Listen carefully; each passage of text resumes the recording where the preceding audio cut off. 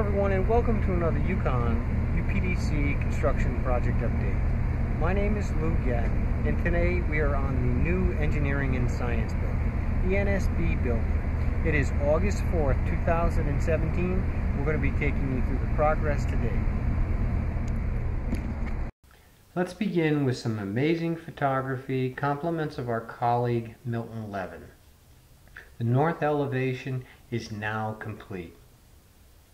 What an amazing journey. We started with the footings, through the foundations, through the structural steel, and now to be able to see that it's complete. And as we're passing by the mechanical louvers to the top, we get a chance to see our green roof for the first time. Let's remember this was a grant through Connecticut DEP and the US EPA for the university's effort to reduce our stormwater into the local streams and rivers. And we'll continue with a loop around the building. This north elevation, the walks are in. We can see the walk into the main entrance. We're looking down. The excavator here is pulling out the subsoil, bringing in the topsoil, getting ready for the plantings. As we swing around to the east, we see the sidewalk heading up through pharmacy and health services. Is just shy of one panel there. They're using that for access. And again, again, a great opportunity to look at the green roof that's almost complete through here. As we swing to the south, we see the blacktop is installed. First time we've ever had a chance to see this. There's some parking spaces that you see back here. It's been tied into the CUP. The loading dock, the receiving area is complete. Here's a shot looking down at the stack on the central utility plant. Most people won't get to see. On the west side over here, we can see there's a lift in this area. There's still a couple of crosswalks to go in this area here. And finally back to the front. And the second floor, mostly the open lab concepts in here. We'll see the third floor has a little separate wing for the CGI area.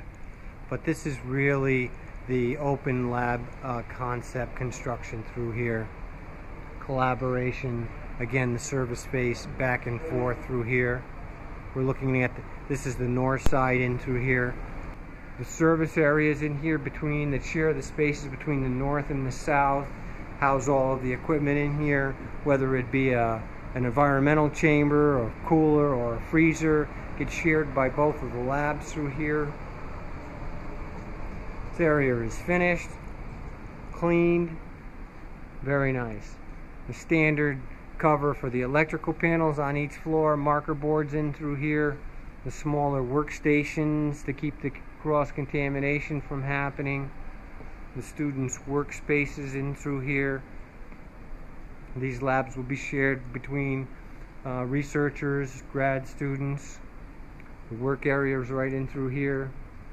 Another work area right in through here for the students and the view on the east side stacked up on top of each other are uh, facing pharmacy here. These are all the workstations in through here.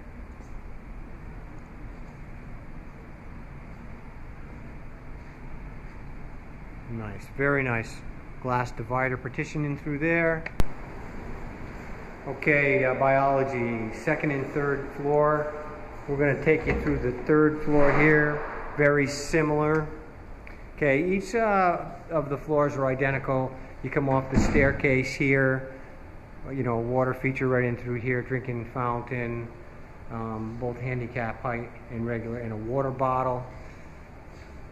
You Got to get cleaned up in this area in through here, but this is the finished colors in through here, the two elevators in through here. We'll take a quick peek.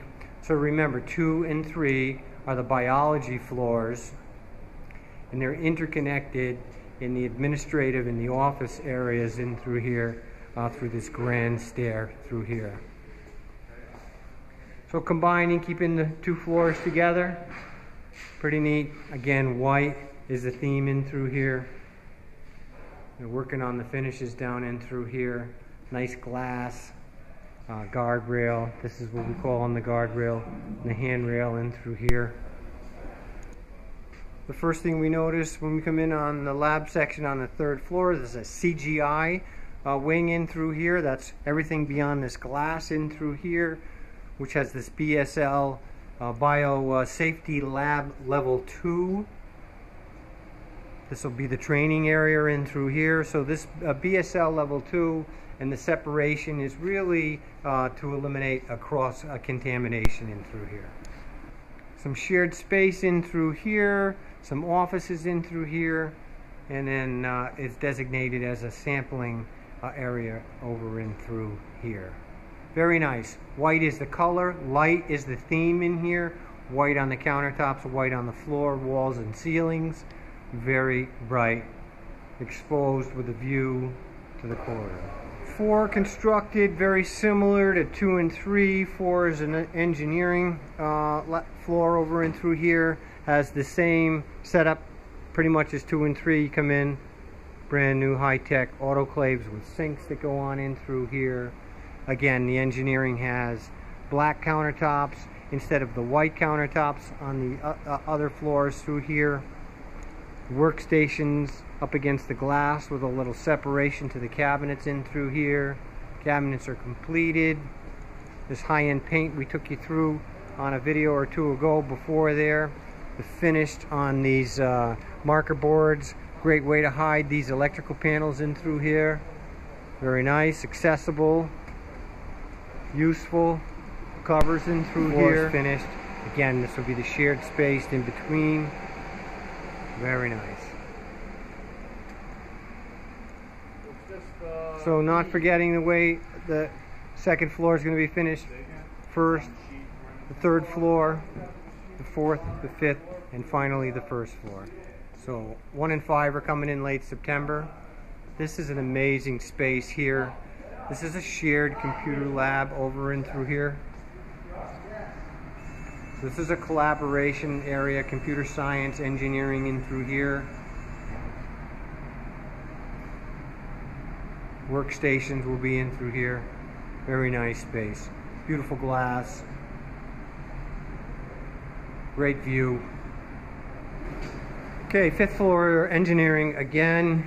Um, the uh, mostly the clean energy uh, group over in uh, Depot campus and this is going to just about double their space and the fifth floor is uh, pretty much the only floor uh, with hazardous gases up here uh, this group mostly chemical engineers electri electrical engineers they're working on making the planet green fuel cells things like that but this area here has um, hazardous gases on. There's a big deal on the uh, on the safety program in here. All the gases are contained, uh, in particular uh, the storage rooms in through here.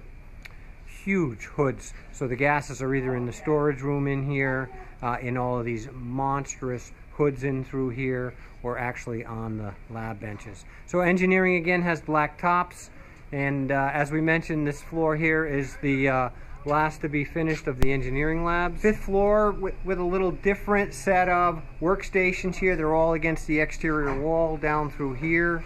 As we saw on the other floors, there are little workstations on the end of the cabinets. But a great opportunity here to see how the cabinets go together in through here, how the units are built.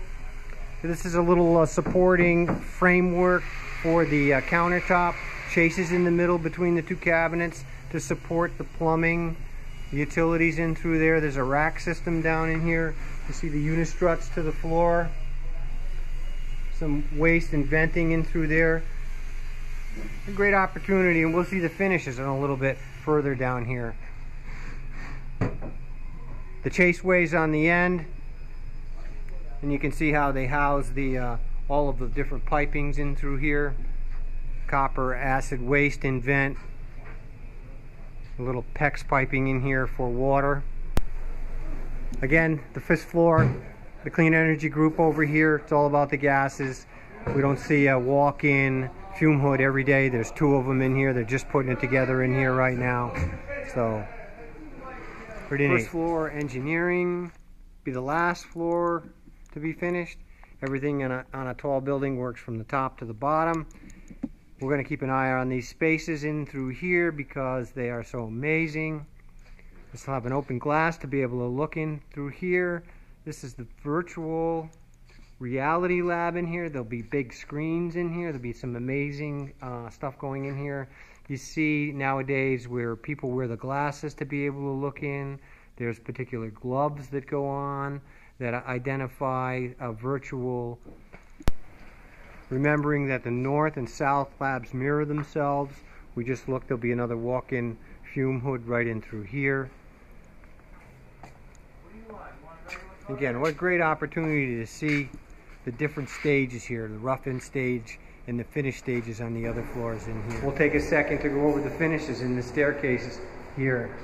Not an everyday finish, the chain link for a guard right through there, white handrail.